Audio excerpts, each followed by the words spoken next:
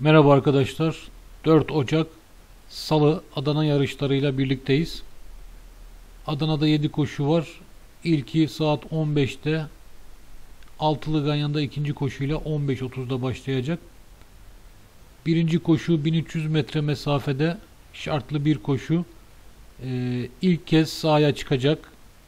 8 tane safkan meydandan çıkmak için mücadele verecek ayaklarının düz basmasını diliyoruz her zamanki gibi. E, burada e, idman pistinde beğendiğim 4 numaralı Real Blue Halis Karataş ile yarışı kazanmasını bekliyorum. Tek olarak öneriyorum. E, Bayis için önereceğim iki isim olacak. İlki bir öz belge yetiştirmesi. Bir numaralı Carol Strom ve 8 numaralı Minerva McGonagall e, Doru yazıyor ama idman pistinde gördüğümüz e, safkan bayağı kır safkan. 8 numaralı Minerva McGonagall e, bahis için önereceğim isimlerdir. E, favorim 4 numaralı Real Blue.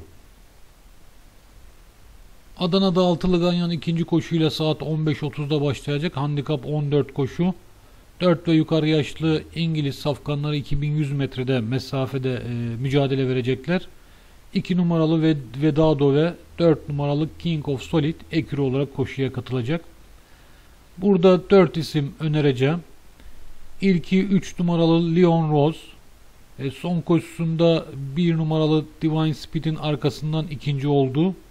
E, o koşuda e, starttan biraz tereddütlü çıkmıştı. E, bence rakiplerini de biraz hafife e, alınca ikincilikte kaldı. E, bugün e, daha iyi koşacağını düşünüyorum. Favorim 3 numaralı Lian Rose. Sonra ekürülerden 2 numaralı Vedado. E, apranti Mustafa Muhammed Özdemir ile ikinci şanslı gördüğüm isim. E, bir numaralı Divine Speed e, yarışı kazandığı günde önerdiğim bir isimdi. Furkan Çetin'le üçüncü şanslı gördüğüm isim. Ve son olarak sürprizlere önereceğim. 8 numaralı oğlum Savaş Mustafa Kemal Kumbasar'la bir sürpriz yapabilir. Altılı Ganyan ilk ayağı Sıralamam 3, 2, 1 ve 8. Altılı Ganyan'ın ikinci ayağı 1900 metre mesafede şartlı 3 koşu. 4 yaşlı Arap e, atları mücadele verecekler. Ki bunlar e, bu mesafede e, daha önce koşmamış isimler. İlk kez çıkıyorlar e, bu mesafeye. E, onun için 9 numaralı Yıldırım izini e, tek öneremiyorum. E, gerçi e, eğer öz abisi Çakmak Taş'a benzerse e, Uzun'a da çok iyi e, koşma, koş, koşması gerekiyor. E, benim alternatif e, olarak önereceğim bir tektir. 9 numaralı Yıldırım İzi Halis Karataş'ta. Yanına iki isim önereceğim. İlki Harun Kılıç Arslan idaresindeki 3 numaralı Bükeç ve e, son 3 koşusunu kazanan Ayhan Kurşun idaresindeki 4 numaralı Everest bu koşu için yeterli olacağını düşünüyorum. Dediğim gibi 9 e, numara e, tek de olabilir küçük küçük kuponlara. 9, 3 ve 4 diyorum 3. koşu için arkadaşlar. Adana'da 3. ayak 3 yaşlı İngiliz atlarının 1300 metre mesafede e, meydandan çıkma mücadelesi olacak. Koşu hayatına bu koşuyla başlayacaklar. Hepsinin ayaklarının düz basmasını diliyorum. 2 numaralı Astrolog ile 4 numaralı Ennabi Ekürü olarak koşuya katılıyor. Burada e, iki isim önereceğim.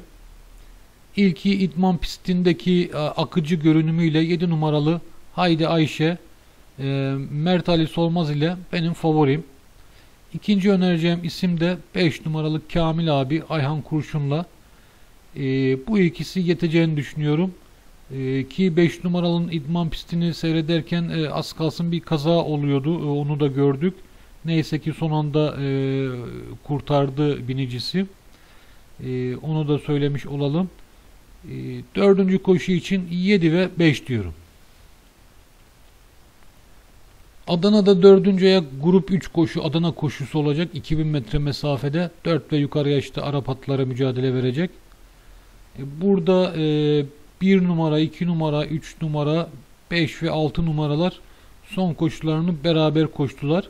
1500 e, metre mesafeydi. Şimdi 2000 metre e, mesafe oldu. E, dolayısıyla benim önerilerim de değişti. Bugün için iki isim önereceğim. İlki Özcan Yıldırım idaresindeki bir numaralı Cevher benim bugünkü favorim. Ve yanına e, Halis Karataş idaresindeki 6 numaralı Oğuz Boylu e, bu koşu için yeteceğini düşünüyorum. 1 ve 6 diyorum 4. ayak için. 6. koşuya e, geçmeden önce arkadaşlar e, kanalıma abone olarak beni seyrederseniz çok daha memnun olurum. Bunun da altını çizmiş olayım. E, 6. koşu 1400 metre mesafede handikap 15 koşu. E, 7 tane 3 yaşlı e, İngiliz safkanı mücadele verecek. E, burada Ahmet Çelik idaresindeki bir numaralı Espinozo son 3 yarışını kazanan bir isim. 49 gündür de dinleniyor. Alternatif e, tek olarak önereceğim isimdir. Ama yanına 3 tane e, sürpriz isim daha önereceğim. Bir numaranın e, kötü koşması halindeki 49 günde ara verdi. 3 e, numaralı Munferli Ayhan Kurşun'la devreye girebilecek ilk isim. Sonra 4 numaralı Grey Runner Vedat Abiş'le yine devreye girebilecek bir isim. Ve son olarak 7 numaralı Obrix e, ikinci koşusundan meydandan çıkan e, Sayın Hikmet Kızılcan'ın hakem e, temsilcisi Obrix Müslüm Çelik'le yine koşuyu kazanabilecek bir isim. Dediğim gibi bir numaralı Espinoza alternatif tektir. Kuponların durumuna göre tek de yazılabilir. Ee, yanına at yazmak isteyenlere 3, 4 ve 7 diyorum 6. koşuda. Adana'da kapanış saat 18'de olacak 1400 metre mesafede. E, 4 yaşlı Arap atları mücadele verecekler. Satış 2 koşusu. E, burada ekürü isimler var. 4 numaralı ilk kurşun ile 14 numaralı son kurşun ekürü, 10 numaralı parlak iboyla da 13 numaralı kırsalda ekürü olarak koş, koşuya katılacaklar. E, tayların fiyatlarına baktığımızda da 1 numaralı Çakırlar Efes'i 100 bin, Duayanoğlu 100 bin, Ezer Döver 100 bin, bakıyorum sırayla hepsi 100 bin mi? Parlak İbo 96 bin, 84 bin ben uçar, Ranger 84, 80 bin ve 56 bin. Evet 14 numara 56 bin. Den 80 bine kadar e, farklı fiyatlarda satışa sunulacaklar. Burada da iki isim e, yeterli olarak görüyorum altılı kuponlarında. İlki e, Burhan Kılınç idaresindeki 8 numaralı Kızım Serpil. E, son yarışını kazandı. Sürpriz yaparak kazandı. E, yine kazanabilir. İlk şanslı gördüğüm isim.